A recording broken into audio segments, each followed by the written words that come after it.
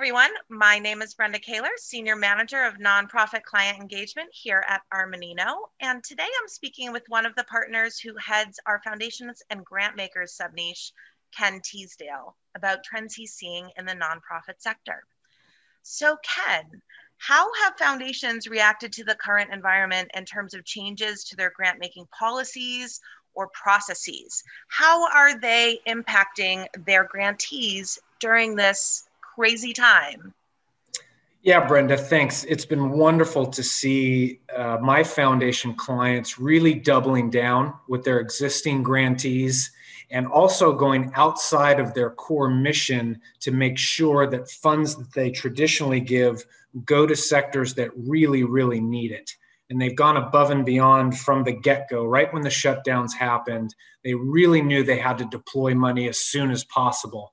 Uh, and everybody's really trying to do their best to get money quicker to grantees and doing things in an accelerated fashion much more than they would normally. And i've seen it firsthand.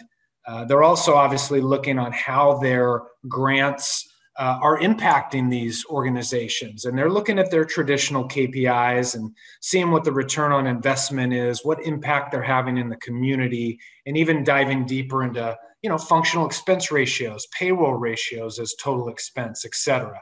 Uh, but really, all efforts are to deploy as much money, even more so than they have to, uh, in these really troubling times.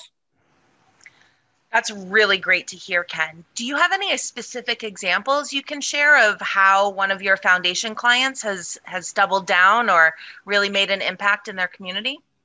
Yeah, happy to. One of uh, my largest foundation clients asks me to help them analyze potential grantees and, and kind of go through a risk factor process on how risky this uh, grantee might be based on financial information and their grant application. And I help with that process.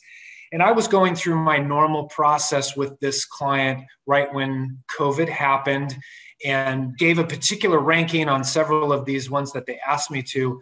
And the CFO came back and just said, We need to get these funds to these folks. Let's shortcut all of this.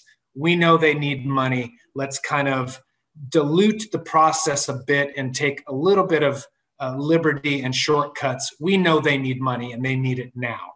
So great. I backed off on what I traditionally do, help them get money to the streets really, really quickly and impacted these several organizations right away. And uh, it, it really, really helped. And it was wonderful to see. It's really exciting to hear about that kind of flexibility happening in philanthropy, which has historically not been as flexible on those types of, of processes um, in, in the past. So, wonderful news. Thank you so much for sharing that, Ken.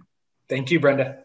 Awesome. And thanks for joining us today. Uh, everyone, please stay tuned for more insights on nonprofit trends from Armanino.